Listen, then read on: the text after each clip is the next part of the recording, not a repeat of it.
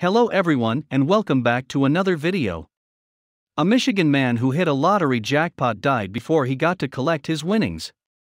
The body of Gregory Jarvis, 57, was found drowned on Friday, with the $45,000 winning ticket still in his pocket. Friends say he had tried to cash it in, but because his old Social Security card was so beaten up, he had to wait on a new one before he could claim it. Jarvis was at the Blue Water Inn on September 13 playing the Club Keno add on game The Jack when he hit the jackpot. Owner Dawn Talaski told ABC 12 she was there when word went around the bar that someone had won the jack.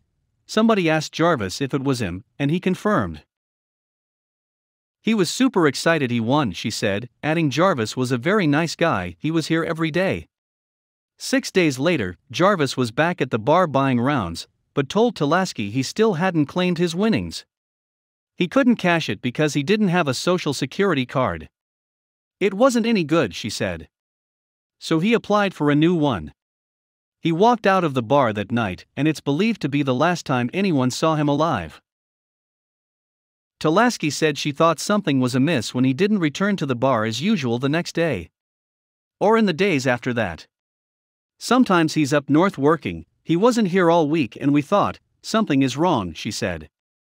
When Jarvis's boss came into the bar the following Wednesday reporting he had not shown up for work, Talaski knew there was definitely something wrong. Worst fears were confirmed just two days later when on Friday morning, a resident found a body washed ashore beside a boat on a private beach in Caseville. Both boat and body turned out to be Jarvis's. We are thinking that he was tying up his boat, slipped and fell, hit his head, and that's where he ended up in the water, Caseville Police Chief Kyle Romzek told the outlet, adding that no foul play is suspected. When investigators learned about the lotto win and found the unclaimed ticket still folded in his wallet, it did initially raise some suspicions, and they investigated further.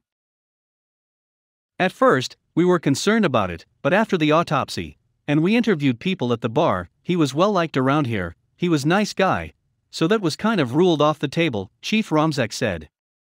The Michigan Lottery Commission confirmed to ABC 12 that all prizes above $600 require a photo ID and Social Security card.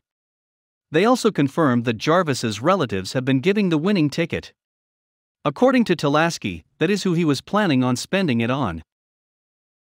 He was planning to take that money and go see his sister and his dad in North Carolina, she said. Thank you for watching this video, please don't forget to like, comment, and subscribe.